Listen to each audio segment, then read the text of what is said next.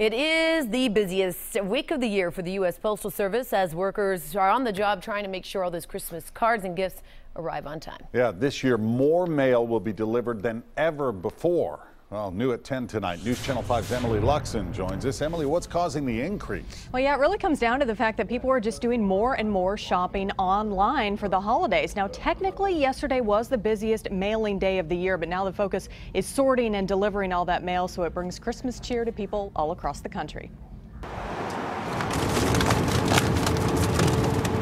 The holiday mailing rush is on.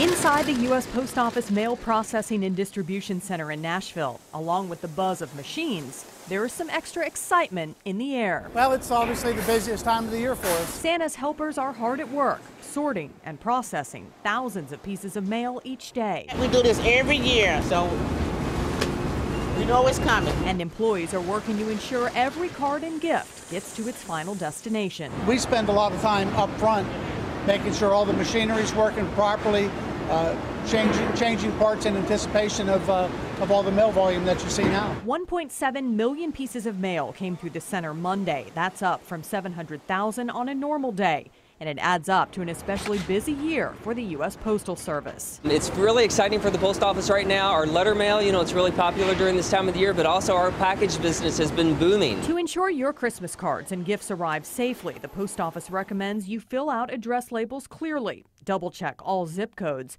and put the recipient's name and address inside the package as well in case the shipping label falls off. And with the final countdown to Christmas underway, we'll be busy in the next, you know, couple of weeks up until the holiday. The post office hopes to do its part to help customers have a Merry Christmas. And for the first time ever, the Postal Service will be delivering all types of packages on Sundays this holiday season just to stay on top of the rush. And they will also be delivering mail on Christmas Day as well. Back to you.